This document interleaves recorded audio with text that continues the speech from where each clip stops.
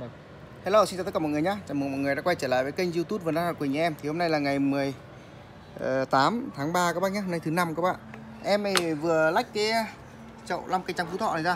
Hôm nay ờ, xin ờ, chia sẻ mọi người là cái cách mà trồng cái ki mầm gốc các bác nhé. Lách mầm gốc để trồng để trồng sang chậu khác. Vì sao em lại lách mầm gốc để trồng sang chậu khác? Vì sao các bạn ạ Vì cái ki này nó lớn rất là nhanh. Nó lớn vượt bậc so với lại à, những cái mầm này nếu mà anh em chúng ta mà không tách cái mầm này ra nhé các bác nhé thì cái mầm nó sẽ lấy hết dưỡng chất và nó sẽ không thể nuôi à, mấy cái mầm nó sẽ không thể phát triển được các bạn nên vì vậy anh em chúng ta phải chọn là một cái giải pháp đó là tách tách để à, trồng cái này ra một cái chậu, chậu riêng các bác nhé thì à, vừa rồi em cũng không nghĩ đến cái việc quay video đâu.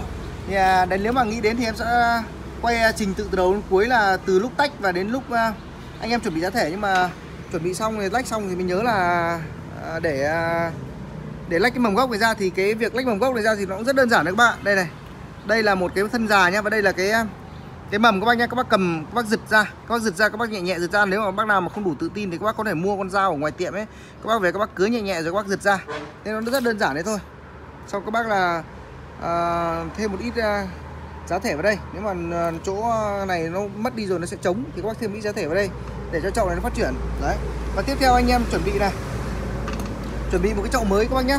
Và mỹ giá thể thì giá thể của em hôm nay thì có như này. Gồm có à, vỏ thông này các bác này, và dớn dớn vụn các bác nhá, và đá bọt các bạn thì à, cái tỷ lệ thì như nào? Cái tỷ lệ thì là, em là dùng là một vỏ thông này các bác này. À bốn vỏ thông. Một đá và một dớn trộn với nhau các bác nhá. Nghĩa là bốn vốc vỏ thông và một vốc à, đá bọt và một vốc dớn này trộn chung với nhau.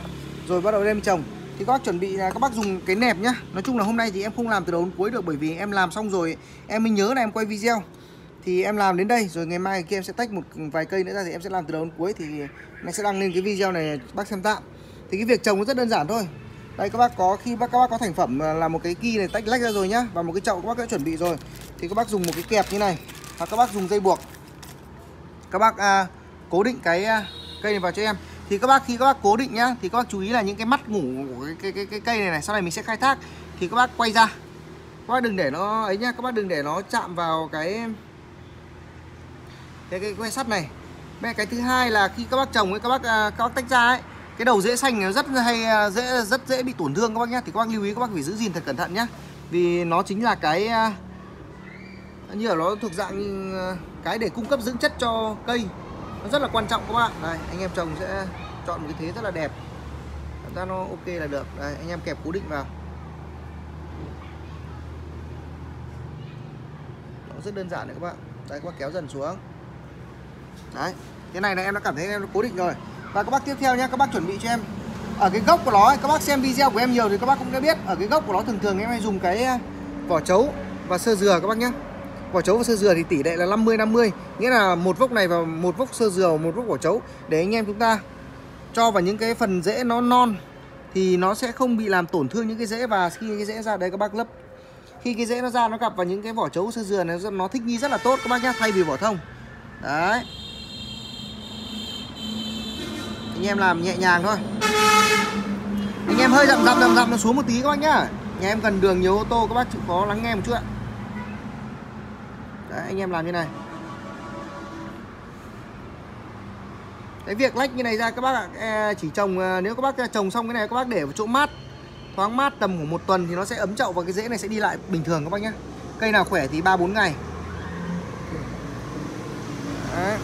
Đấy rồi tiếp theo nhá những cái bên cạnh này các bạn các bác có thể giải thêm cái quả thông này vào cái chấu này sau này các bác nào mà sợ bị úng nhất thì đến lúc mà cây nó ấm chậu rồi thì các bác rất đơn giản là các bác lấy cái vòi nước các bác xịt đi cái là nó bay hết. Thì các bác thoải mái luôn. Các bác sẽ bỏ đi và các bác thay thế vào vỏ thông khi dễ nó ấm chậu. Mục đích cho đá bọt vào để cho nó thông thoáng các bác nhé và dớn vào cũng để nó thông thoáng các bạn. Rất là đơn giản đúng không? Các bác trồng một cái kỳ trong vòng nếu mà em mà không uh, vừa nói vừa làm thì chắc nó chỉ từ tầm 3 phút được các bạn không biết video là được 4 hay 3 4 chắc chỉ khoảng 5 phút thôi. Cái video thì em làm rất là ngắn. Anh em chú ý là lắng nghe và xem từ đầu đến cuối nhé các bác nhé có gì không hiểu thì hoặc là có gì không ấy thắc mắc thì các bác cứ alo vào số điện thoại của em. Là em để ở dưới à, phần uh, uh, góc uh, trái màn hình ấy các bác nhé đấy. Đấy, anh em chỉ làm đơn giản này thôi. Thế là xong rồi các bạn Nếu bác nào cẩn thận Các bác chú ý nhá Khi trồng xong ấy Các bác để vào chỗ thoáng mát giúp em. Đây là ok. Ngày mai ờ, có một số bác mà đang quan tâm hỏi em là cái cái cách ngâm ờ, nước vôi với sơ dừa như nào thì ngày mai em sẽ làm một cái video mà chuẩn bị uh, cái vỏ chấu và sơ dừa trộn lẫn với nhau để uh, em sẽ trồng những kỳ tiếp theo bởi vì là cây nhà em ấy các bạn thì nó cũng sắp là được uh, nó sắp là ra ra kỳ được hết rồi các bạn. Đấy các bạn có thể thấy như này rất là ok đúng không? Thế bây giờ em sẽ mang vào đây. Đây. Nha các bác nhé bây giờ em sẽ mang một phòng đặt thì à, xin mời các bác vào phòng của em, các bác xem nhé đây, nó rất là đơn giản đúng không các bác? Rất nhỏ, xinh, đẹp, đấy. Đấy, các bác thấy không? Đây giờ em sẽ đặt vào đây. Đặt vào đây đây là phòng vượt đông nhà em các bác nhé thì em cũng chuẩn bị là ra được những cái kỳ như này rồi các bạn. Cô ơi tắt anh cái đèn phòng vượt đông ấy. Đấy, các bác thấy không? Ra được những cái kỳ như này rồi. Và như đây những kỳ HO này các bác này. Đấy, sắp ra rồi. Thì mai em sẽ chuẩn bị cái vỏ chấu và sơ dừa này. Đi đấy tắt cái phòng vượt đèn cái những đẹp ngay đúng không các bác em sẽ chuẩn bị à, tắt cái phòng này. Em sẽ chuẩn bị à, những cái vỏ chống sơ dừa để em à, trồng những cái kỳ như này các bác nhé. Đây là những cái kỳ mà chuẩn bị ra thành phẩm này các bác này. À các bác thấy chưa? Đẹp không các bác? Rất là phê luôn. Và đây này những cái kỳ bên này em làm muộn hơn bên này mỗi này. Và đây các bác đây là những cái ừ, mầm gốc em đã chăm này các bác này. Đây xin mời các bác ngắm mầm gốc này. Năm cái trắng phú thọ này các bác thấy phê không? Sổ, đi quá phê luôn. Đây tiếp HO này các bác này đây là uh, hồng yên thủy. Đấy hồng yên thủy này các bác này.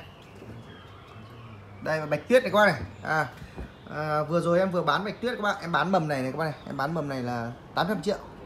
Mầm này là 750 triệu mầm này là 600 triệu đấy các bác này. Thế em bán uh, giò này hết rồi. Giò này còn còn còn mầm này của em này. Mà em sẽ khai thác sau. Đấy các bác thấy không? Tất cả những uh, trong này thì uh, cây đi rất là chuyện phát triển rất là tốt nha các bác nhá đây các bác nhìn này đây là phú thọ này đây là cây mít này các bác này. Mít này các bác này dễ này dễ bắn rất là đẹp rồi nhá đấy dễ bắn rất là đẹp đấy các bác này. Đấy các bác thấy chưa? Đây là đây là cây hồng yên thủy này các bác này.